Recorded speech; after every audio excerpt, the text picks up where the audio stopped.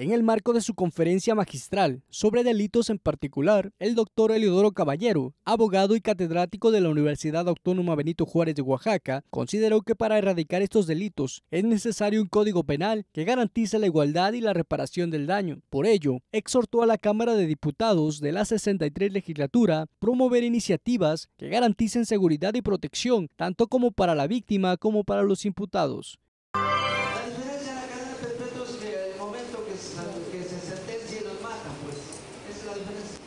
les privan de la vida. Pero en nuestro código se las pasan en la cárcel.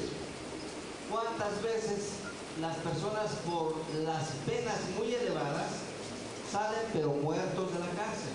Claro que hay beneficios, pero hay delitos que lo prohíben, que prohíben ese tipo de beneficios.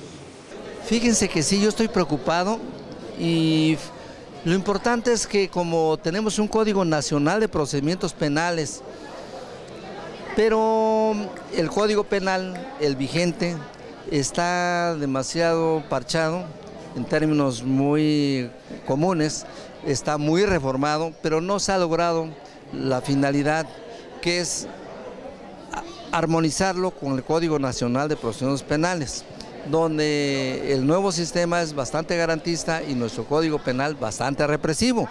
De ahí la necesidad de armonizar un nuevo código penal para el estado de Oaxaca. Les pedimos a los señores diputados que pues analicen la necesidad de este nuevo Código Penal para que seamos nuevamente pioneros, los primeros, digamos, en toda la República de tener un Código Penal nuevo. El también integrante del cuerpo académico Jurisprudencia dijo que el Código Penal vigente en términos comunes está muy parchado. Es por ello que necesitan la armonización con el Código Nacional y con ello hacer que el Estado aplique con rigor y responsabilidad las leyes. Si no tenemos un Código Penal, si bien es cierto represivo, pero también es, es la aplicación, digamos que el Estado mismo lo aplique, porque pues yo hace rato mencionaba que vemos bloqueos constantes, pero pues no, no intervienen, ¿no? Entonces de nada sirve tener más leyes, como he dicho, podemos tener muchas normas, muchas leyes, pero si no las aplicamos, pues no sirve de nada, ¿no?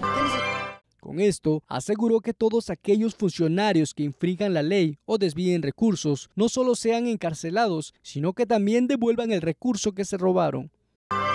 Ya presentamos una iniciativa de este nuevo Código Penal en donde priorizamos precisamente la reparación del daño. ¿Qué es la reparación del daño? Devolver lo que se dañó, lo que se sustrajo. Y en este caso a eso le interesa la sociedad. No le interesa que estén presos, no, no, sino que devuelvan el dinero. Con imágenes de Alfonso Morales, informó para MBM Televisión Deimo Sánchez.